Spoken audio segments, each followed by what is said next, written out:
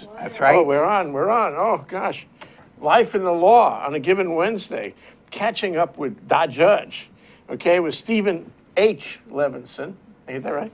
Okay, he was a retired Associate Justice of the Hawaii State Supreme Court, right here in our studio. Fabulous. And I should also add an old and good friend. An old and good friend going way back. And with the emphasis on old. Sorry. Just about 40 years at this point, by my Yes, it count. is. Yes, it is. That's from the, From the early 70s, yeah. Yeah. Uh, You know, I'd like to ask you about that. See, we, we, you know, we do have an agenda, but we don't have to get to it right away. What is your perception, your recollection of life in the practice of law in the 70s? Was it great? Was it fun? Or what, what's the wrinkle there, you know? That's a big question, I know, Jay. we had time. I mean, remember or bear in mind that I graduated from law school in 71. You graduated in law school a little bit earlier. in 62. Yes. Two? Yeah, or 65, sorry, 65, that's when I started. And then I graduated with an LLM in 71, so that was the same year. So, uh, and I, and I uh,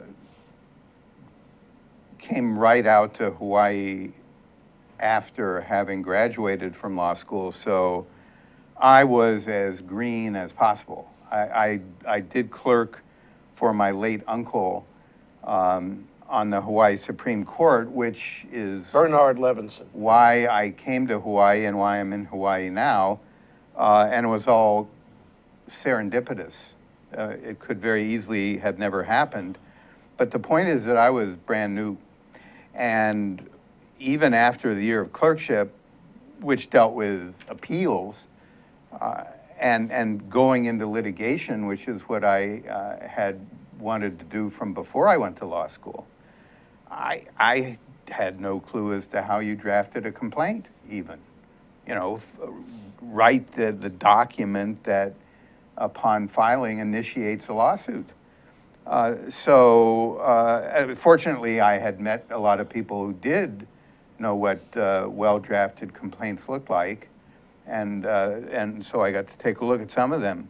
Uh, but I was brand new, and so everything was uh, kind of a first-time experience, uh, and uh,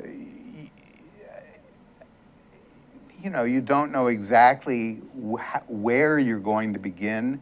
That comes along serendipitously too. One thing leads to another, um, but for me, practicing law in the early 70s was, was very different from what the practice became um, by the late 80s, which is when I left private practice and went on the bench.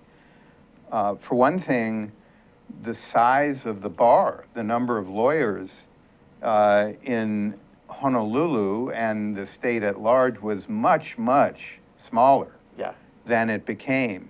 And so if you were a litigator, you basically knew everybody. yeah. Uh, and, and you saw most people who were in your line of work fairly often. Uh, so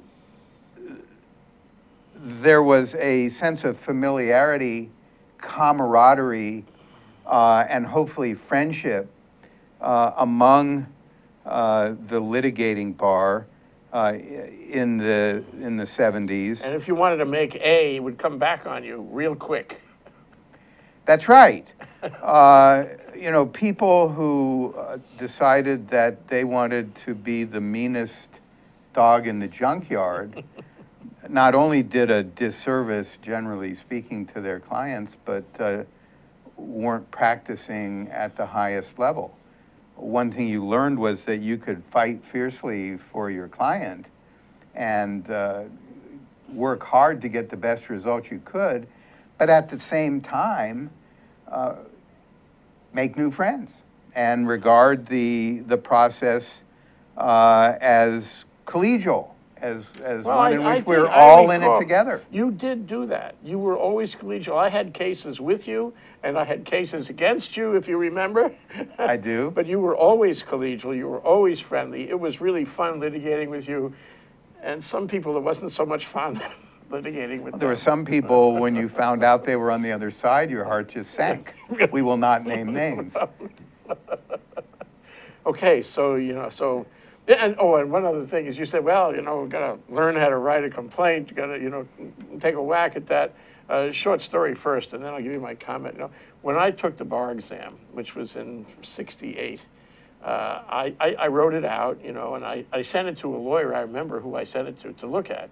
I sent it to Reuben Wang, okay, to look at, it. and he, he looked at it, it was nice enough to look at it. And he came back and he said, you know, this is very nice, Jay, but actually, they have a form.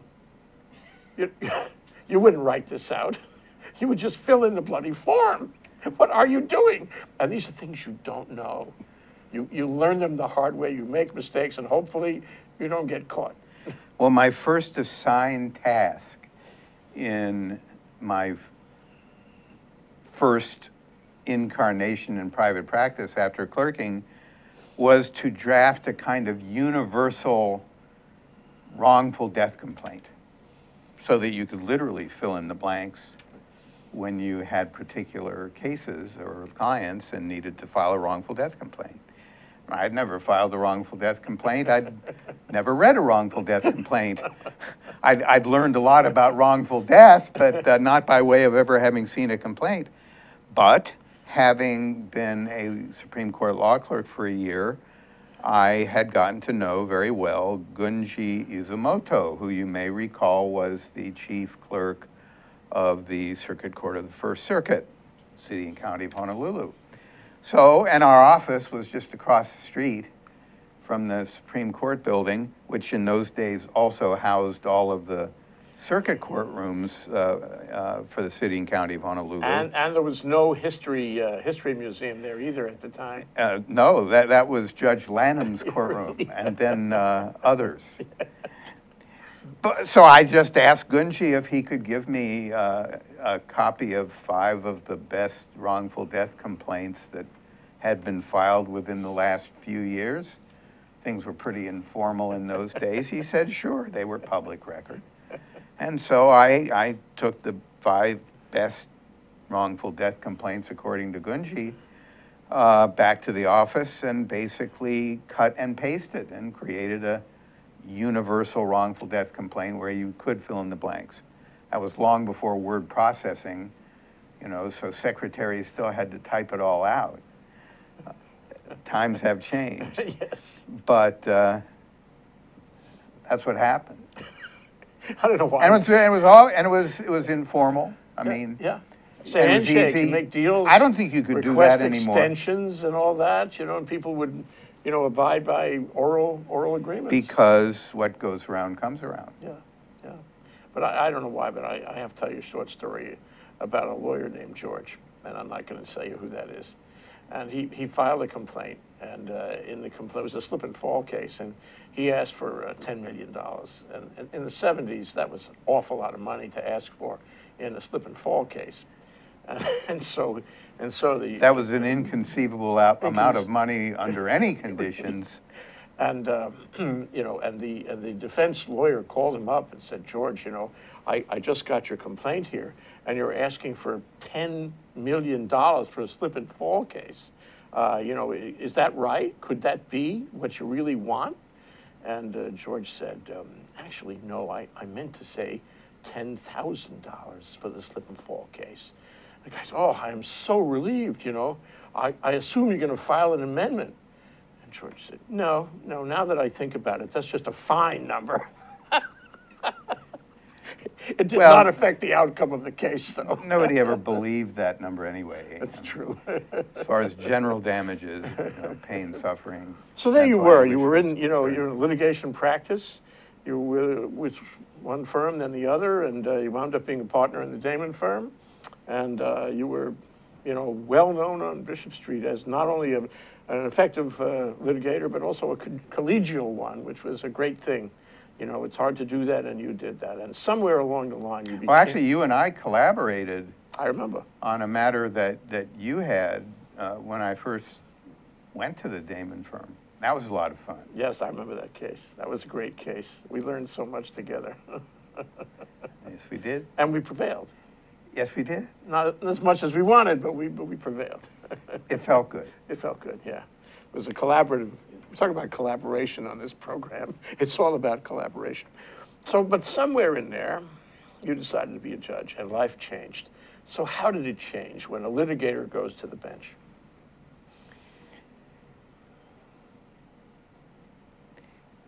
You ne- you never really know what's coming, as I mentioned, but, and I, and I loved litigating, but it got to the point where uh, I'd been doing it long enough that metaphorically speaking, I woke up one morning and didn't particularly feel like getting out of bed. I mean, I realized that existentially speaking, I, it no longer mattered to me all that much as to most cases whether A got the money or B got the money.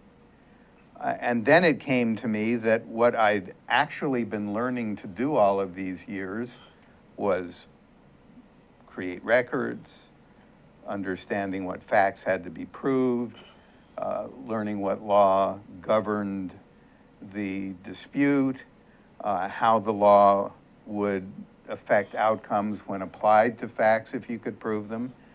Uh, and that meant that apparently all these years I'd been learning how to be a judge. And all of a sudden, it seemed like a really good idea uh, to be one. Not too many people get to be judges, and so the first thing that occurred to me was, uh, am I nuts? I mean, I mean, I had friends who uh, were former litigators um, and uh, were now on the bench. My oldest professional friend, I mean, once I actually was admitted to practice, big brother, role model, mentor, Ron Moon was a circuit court judge by that time. Bob Klein, who I clerked with at the Hawaii Supreme Court in 1972, had been uh, a district court judge and then a circuit court judge uh, for a good while. So you knew what the so I knew it, I knew it was possible. Yeah. Uh, and so I basically put one foot in front of the other, uh, beginning with calling Ron up and asking if I could uh, come down to his uh, chambers and have a chat uh, to do a reality check. I mean, was I was I was I crazy? Was this just a, an unrealistic pipe dream? And he encouraged me to give it a shot um, and suggested that I uh, might want to call then Attorney General Warren Price and just run the idea past him. And I had met Warren Price in 1974, shortly after he had joined the major um, law firm that, that he was a partner, well, he wasn't a partner then, he was still an associate. Uh, He was famous for Mahalo, Your Honor. Now, Warren would say, after he just got beat up in court, where he just lost the case or the motion, and, and, and he had had a terrible time with the, with the sitting judge, he, he was famous for saying, Mahalo, Your Honor. It took on a secondary meaning when you said that. Well, he did more than that. Uh, we had arrived in Hawaii with a 1971 Chevy Vega, which, at the risk of being defamatory, I will um, share my view Okay. uh, that that was the worst car ever made.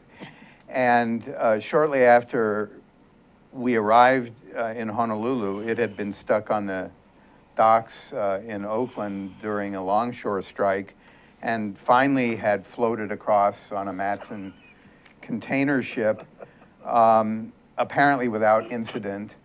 Uh, but as it was uh, sitting in the parking lot, this was still at the bottom of South Street before Matson had moved to Magic Island, under a huge palm tree, uh, a dead palm frond had fallen off the, the tree, uh, and like a, like a, like a stealth drone, had made a beeline right for the center of the windshield of the car and, and created a crater in it. Um, that got fixed quickly, but then the car, uh, encountering the subtropics for the first time, developed Hansen's disease. I mean, these great leprous sores were all over it. And uh, we finally decided uh, Poncho, it, being a Vega, we, we named it Poncho, uh, was, was not meant for Hawaii.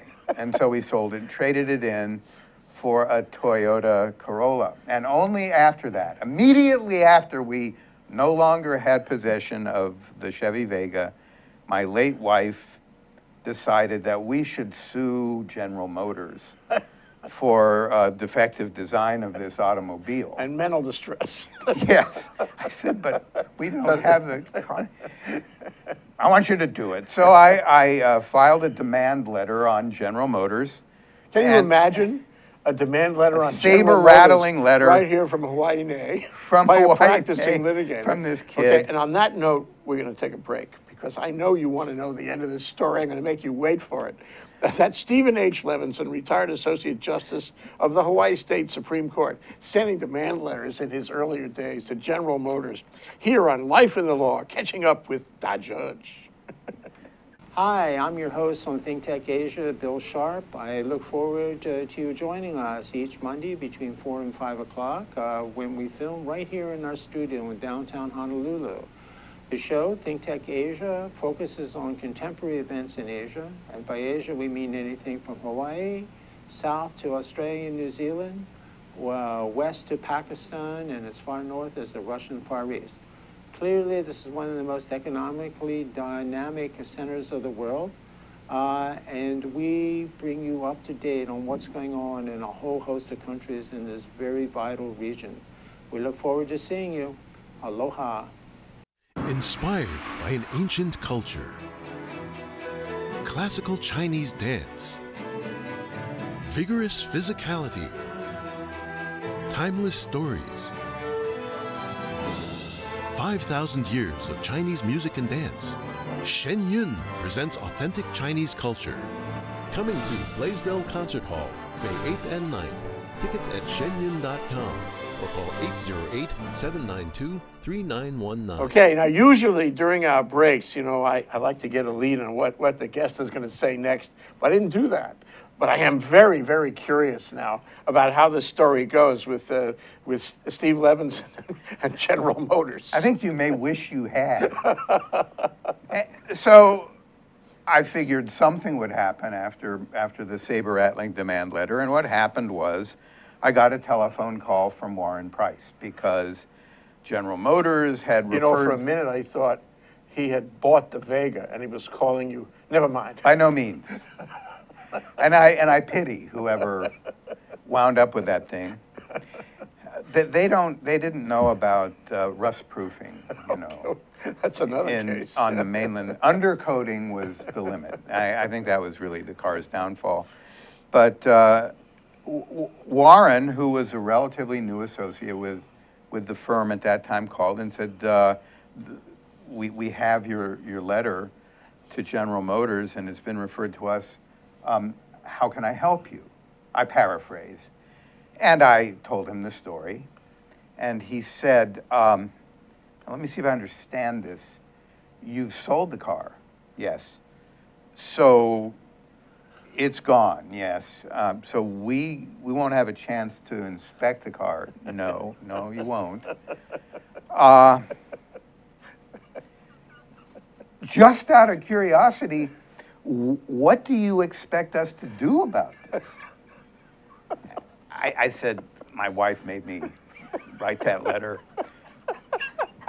I, I really can't, I don't think there's much you can do about it. He said, oh, now I understand. he was good. No ticky, no. I said something like that.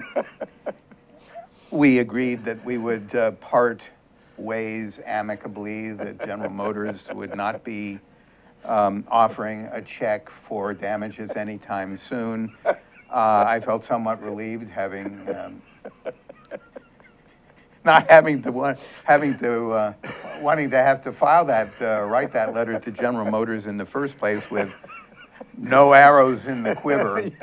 And that was the beginning of my relationship with Warren Price. And, and we bumped into each other all the time over the years and, and had matters together. We were always on opposite sides, just like I always was with Ron Moon, uh, and had become friends. And so by 1988, which is when I got the judge bug, Warren Price was now uh, the Attorney General of the state of Hawaii in the John Waihee administration.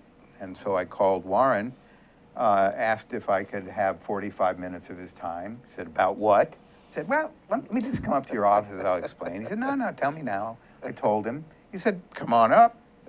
He got the list out of all the judges and what their terms were and who was going to be retiring, and he encouraged me to give it a shot. And, and then one thing led to another, and I lucked out and uh, went on the circuit court, the trial court of general jurisdiction um, in April 1989. And I remember, you know, you, you carried the same characteristics there.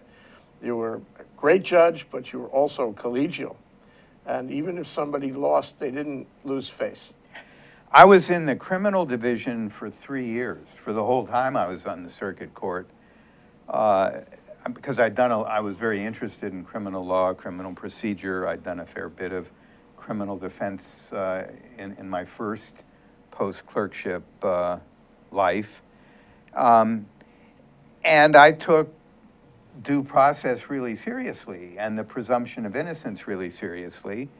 Uh, and so uh, I, I uh, came to understand that criminal defendants, uh, regardless of the outcome of, of, their, of their case, could accept the result as long as they believed that the proceedings had been fair and they had been treated with dignity and respect.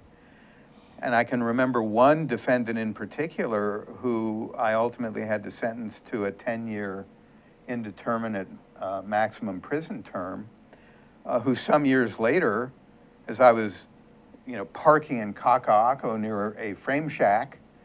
Um, you remember the moment. I do. this, this pickup truck pulled up beside. Judge Levinson, Judge Levinson. You know, who is that?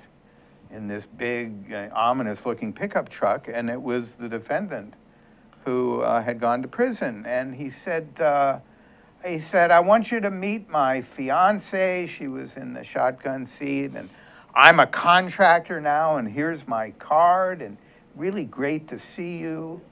Well, it's nice. It's part of you his know, life. part of his life. When, when you get a reaction like that Yeah. out of someone who you had to send to prison, yeah. um, The it makes you alternative- feel good. The alternative ending would have been something like uh, Judge Levinson. Do you remember that Chevy Vega? I I- bought I've been that. meaning to talk to you about that. Uh, anyway, that's a great experience. But uh, you got you, you spent a lot of time on the criminal bench. You became very facile on the criminal bench. Yeah. Uh, that was that was your mm, main assignment, was it? my one and only.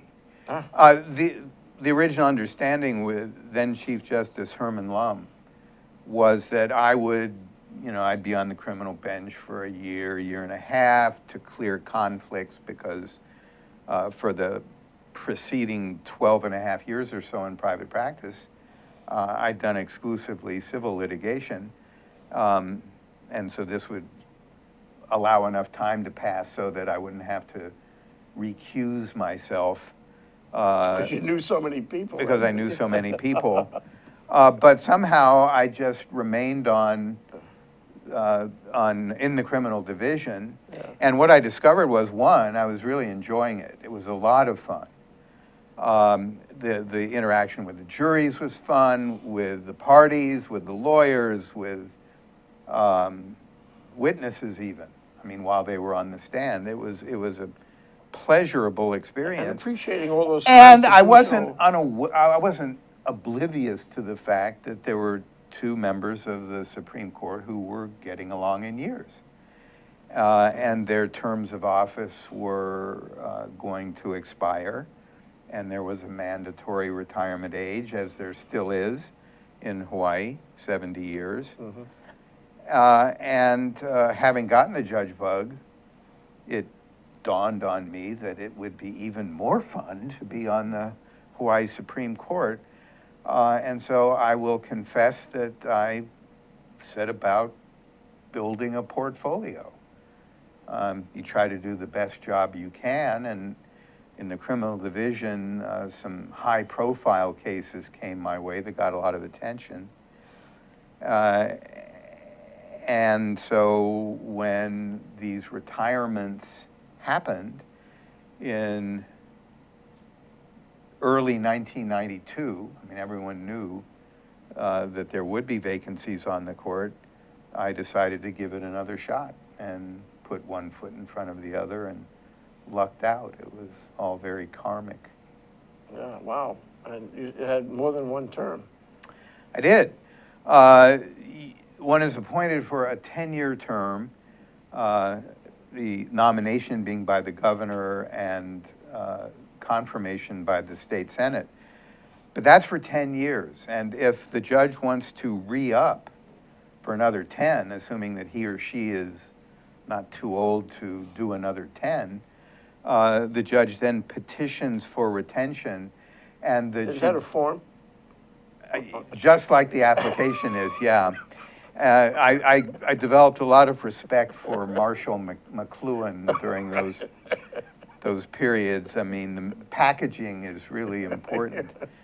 But uh, the Judicial Selection Commission, nine people uh, who put your name on the list in the first place that, that went to the governor, uh, own the decision as to whether you're going to be retained or not. So it's a kind of retention election where the, where the electorate or constituency is nine people. You have to get five votes. I don't know how many votes I got, but I was retained for another 10 years. That began in 2002, and I could have served until 2012 when I still would have only been 66 years old. But uh, in 2008, I woke up one morning, metaphorically same kind of metaphorical wake-up.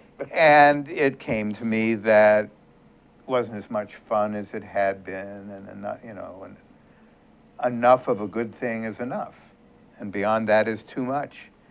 Uh, one of the things that that a judge sacrifices or or gives up in taking the job is the right to advocate uh, for anything having anything at all to do with public policy. I mean, you have to be out of politics, um, both with respect to you know elective candidates or elected candidates uh, and issues completely because you never know what issues are going to come before you, and you you can't You can't talk to people you, that you can't give the appearance of having prejudged And you have to maintain your distance with, with litigating counsel. too. Well, a, a lot of judges, th- that varies. I mean, a lot of judges, I think, go You overboard in that to. respect. You were, you were friendly to the same people after you ascended the bench than you were before. My view was that uh, one of the things you didn't agree to become uh, when you went judicial was a monk. And uh, I valued my friends. Uh, and so uh, my, my criterion for myself as to when I couldn't be fair was that because of the nature of the relationship, um, that would cloud my judgment. Um, and so there were there was a short list of people who I I made up my mind uh, that I, that I would recuse myself if if they were ever um, involved in a dispute that came before the court. But uh, otherwise, I pretty much tried to live my life the way I had before that. We got to take another break. That's uh, Steven H. Levinson, retired Associate Justice of the Hawaii State Supreme Court, who's had a really interesting career. We're learning about that now. We are delighted to have this discussion with him on life in the law, catching up with that judge. We'll be right back. Hi, my name is Seymour Kazimirski. I have a show called Seymour's World on ThinkTech Hawaii. Our show is about opening minds and facilitating conversations.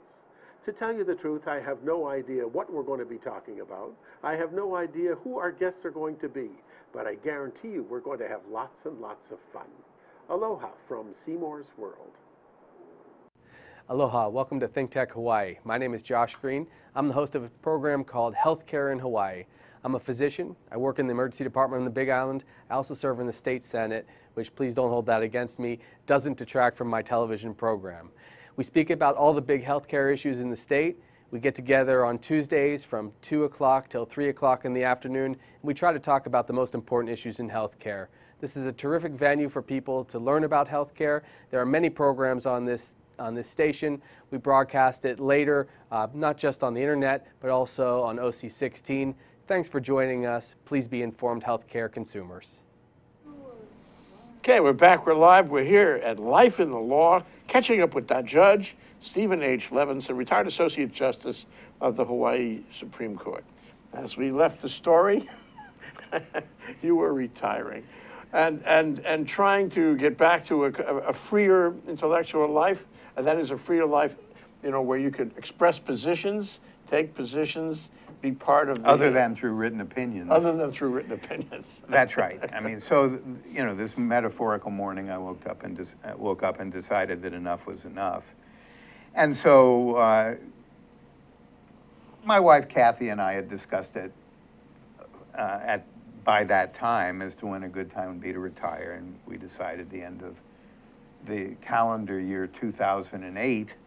So that's when I retired. Uh, and, you know, you try to uh, establish a, a, tentative game plan for retirement. I, I know you certainly did. Uh, and it's worked out very nicely.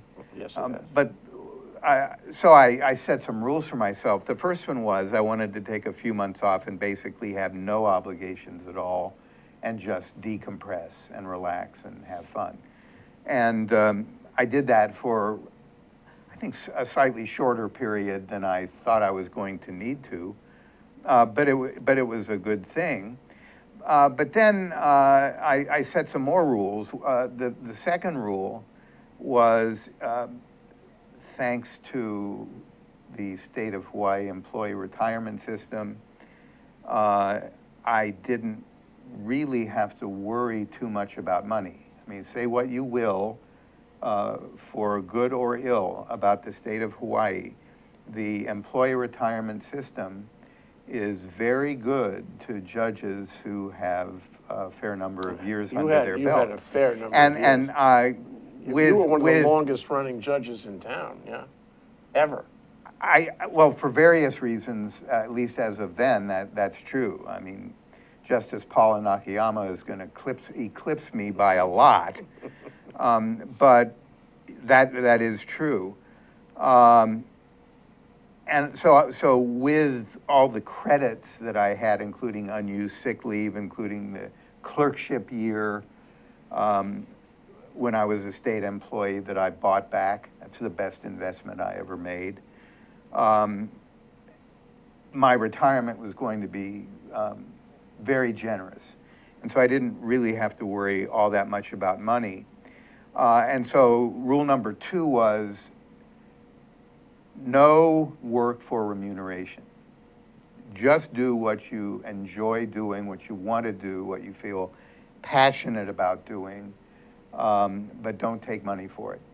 Uh, and a related rule, three, was no attorney-client relationships. Didn't want to have to have a client trust account, didn't want to have to have errors and omissions insurance. Um, and uh, rule number four was kind of the umbrella rule, uh, and that was uh, you don't have to do what you don't want to do, do what you really want to do. Uh, and so I, I, thought about all of those things and uh, was approached by the ACLU of Hawaii or, or, or various representatives of it uh, very shortly after I retired.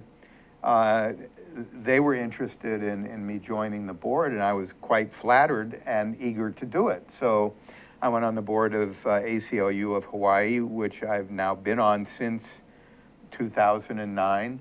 Shortly after that, a uh, group of board members from Equality Hawaii, which was at Marriage equality, Hawaii. well, Equality Hawaii is the name of the organization. It uh, was the largest LGBT advocacy organization in the state.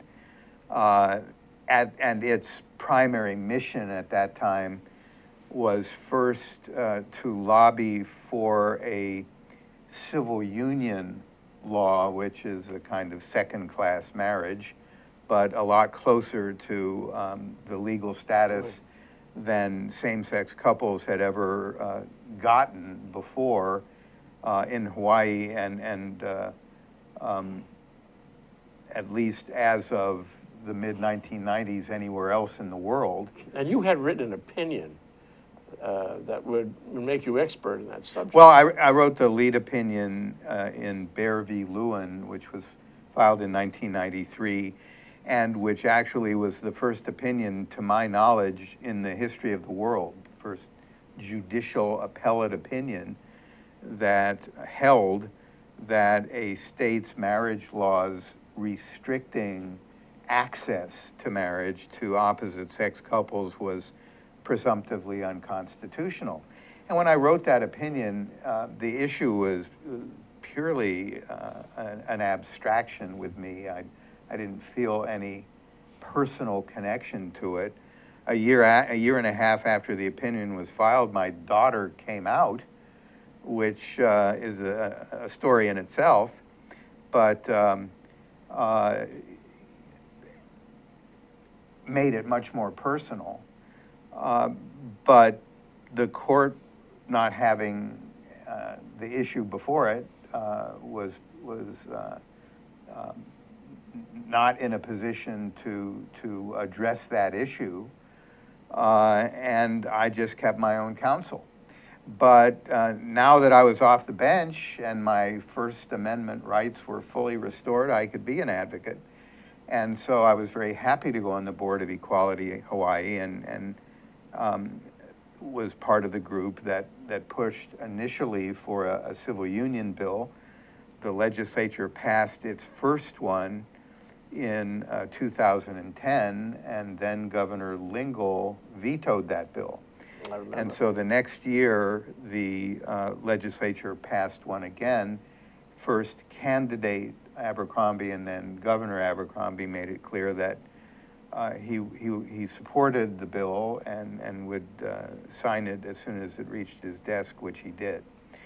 Uh, and having made it clear that the group was not going to be satisfied with civil union as a sort of second-class form of marriage, um, the push began um, and, and uh, had begun uh, on a nationwide level for full marriage equality, and that happened uh, in a special session of the legislature in 2013 after the United States Supreme Court had handed down a couple of very important decisions, and the federal courts generally around the country had begun uh, striking down same-sex marriage bans uh, in various states around the country.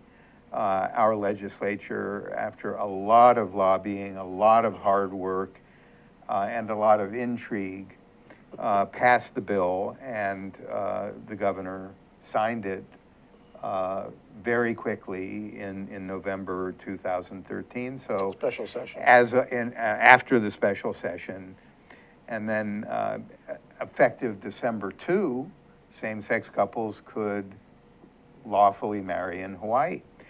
So I married two couples on December 2, and As if to uh, and, and just and just uh, did same-sex marriage number 32 a couple of weeks ago. So that, that that's uh, I, I- felt that. Um, I, I was finally getting some payback uh, for all that work. It- Really? It, it wasn't until I was halfway through the first marriage ceremony on December 2, 2013, when it finally dawned on me that we'd won. You know, we didn't have to fight anymore. Really happening, And, and it was really happening, um, and now thousands of same-sex couples have uh, married in Hawaii, Yeah. which is and a and very the- happy thing. The movement is going worldwide, but it's not over yet. Can you give us the status of the law, at least in the United States? Well, uh, overwhelmingly, the federal courts uh, in the United States, uh, since 2013, uh, have been ruling in favor of marriage equality. Uh, The notable exception, there's a second, but the notable exception was the United States Court of Appeals for the Sixth Circuit, which has jurisdiction over federal litigation in Michigan, Ohio, Kentucky, Tennessee. I, I know that because I was born and raised in Cincinnati and, Okay. and grew up in the Sixth Circuit. And the Sixth Circuit went the other way. And so uh, the um, uh, losing same-sex uh, couples in those cases uh, appealed or applied for further review in the United States Supreme Court.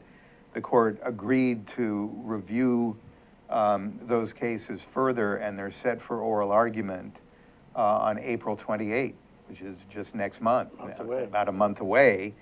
Um, and the, the, the general expectation among people who um, are knowledgeable uh, is that uh, probably by June, certainly by August at the latest, because that's the end of, of this year's uh, Supreme Court term, the court will rule. And um, most people who are um, familiar with the subject believe, and I believe, that it's virtually inevitable that a majority of the court is going to come out uh, in support uh, of, of, uh, of marriage equality, same-sex marriage, on federal constitutional grounds. Could be 5-4, could possibly be 6-3, but uh, unless the composition of the court changes between now and when it's argued, and that's very unlikely unless someone gets ill, knock wood, that they don't, um, the ball game should be over by August of this year, and marriage equality will be the law of the land. If you look at the globe, you know, the map of the world, uh, it is really quite astounding uh, how much of the world is now same-sex marriage country, marriage equality country. Virtually all of Western Europe is. Geographically, most of South America is. Uh, most of the North American continent is. 37 of of uh, the United States and and uh, all of Canada, uh, and part of Mexico. Fairly soon, probably all of Mexico um, Oceania, I mean, New Zealand, South Africa um, became a marriage equality country 10 years after apartheid was struck down. Really quite It must give you a certain level of gratification to see this all really arguably in the wake of Baehr v. Lewin.